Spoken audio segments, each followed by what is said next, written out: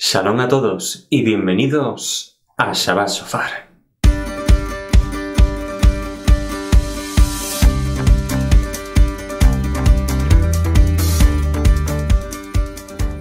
Shabbat Shalom a todos y bienvenidos una vez más a Shabbat Shofar. Y bueno, como viene siendo costumbre, os dejo aquí eh, los versículos correspondientes con la porción que nos toca esta semana sin embargo, pues hoy eh, me gustaría hablaros sobre eh, algo que, he estado estudiando con hermanos que me lo han preguntado para compartir con vosotros lo que pienso sobre cómo eh, guardar el Shabbat.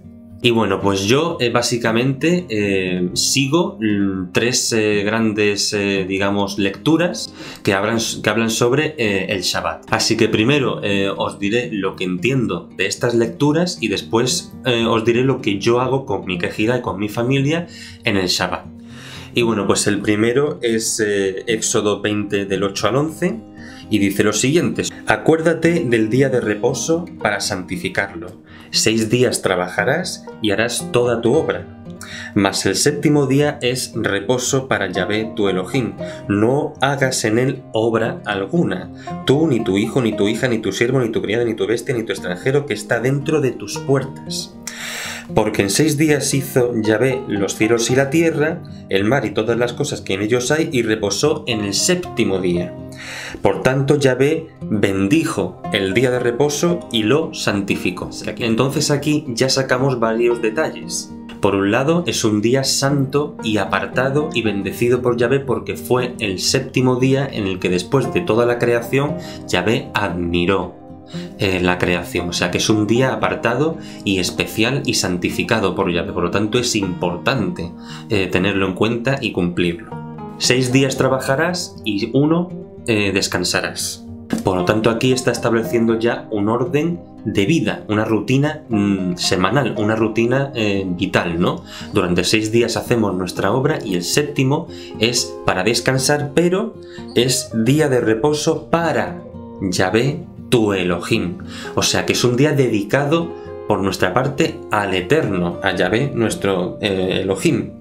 Por lo tanto, no solamente es un día de reposar de tu trabajo, sino dedicarte al Eterno, es dedicarlo a Yahvé. Y ahora nos vamos con Isaías 58.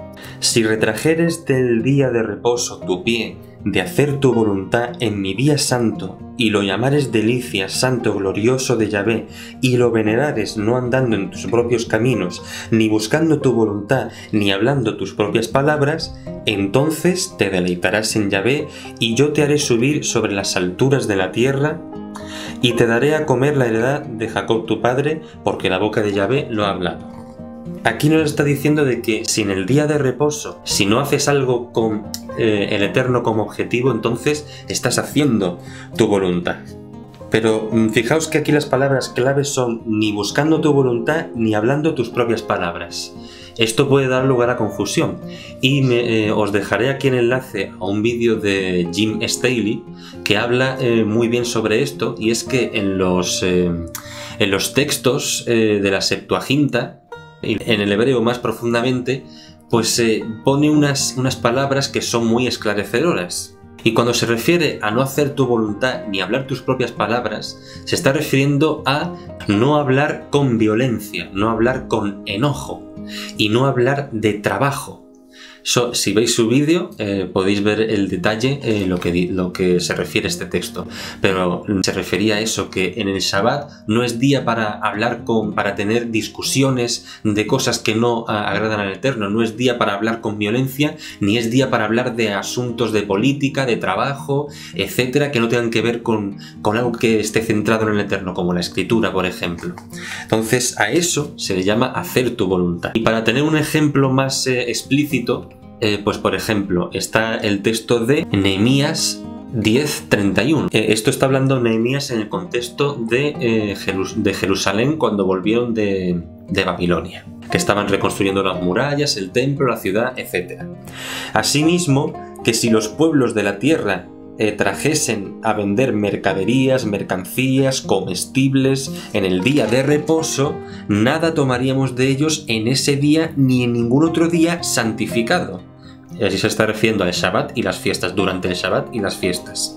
Y que el año séptimo dejaríamos descansar la tierra y remitiríamos toda deuda, eh, cumpliendo lo que está estipulado eh, del, año de, del año de reposo, ¿no? Entonces aquí Nehemías nos está dando un ejemplo práctico del cumplimiento del Shabbat, por lo cual podemos intuir que durante el Shabbat pues no es día tampoco de dedicarte a vender, a comprar, ni ir a un restaurante, ni, ni comprar cosas online, eh, ni andar con ningún tipo de negocio. Entonces eso nos da un buen ejemplo de lo que es hacer nuestra voluntad. Y por último os quiero traer Mateo 12, en el que Yeshua, ante la rigidez de los fariseos, de los saduceos, de los judíos que guardaban Talmud, ley oral, que eran muy legalistas y muy rígidos con las leyes que ellos mismos habían inventado, pues no dejaban lugar a la misericordia.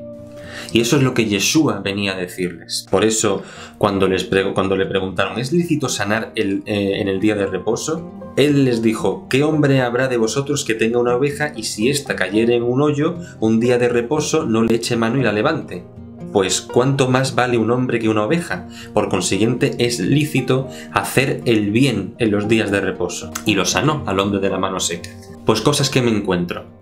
Que aparte ya lo que de lo que hemos dicho en Éxodo, pues que en, el Shabbat nosotros nos dedicamos a estar centrados en el Eterno y a descansar.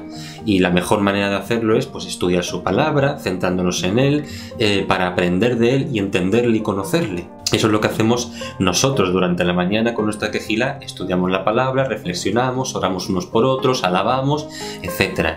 Y la tarde pues la dejamos para descansar algunas veces y eh, pues si seguimos lo que dice Yeshua, pues también es un tiempo para hacer el bien y también para ser misericordiosos.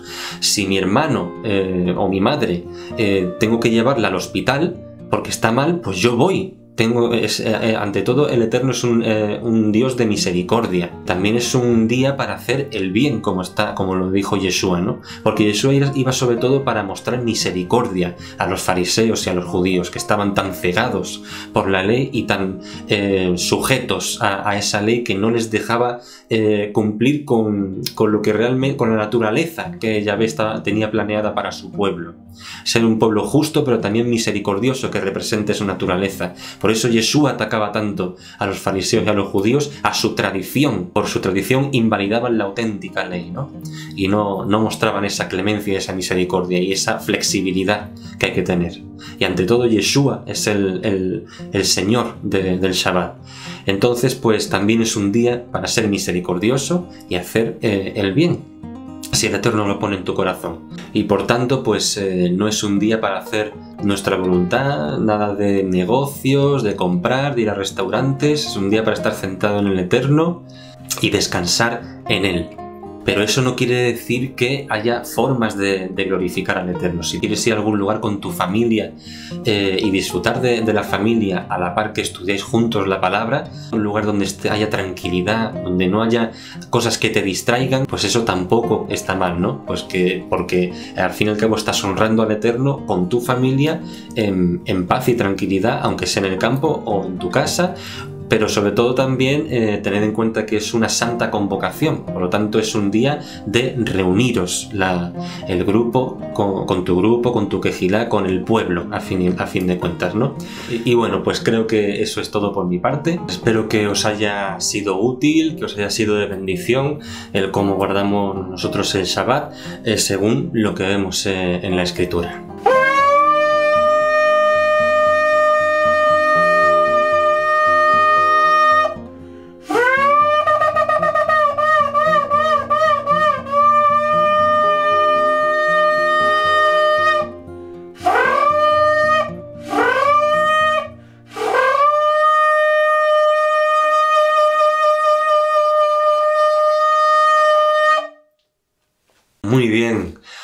Pues nada más hermanos.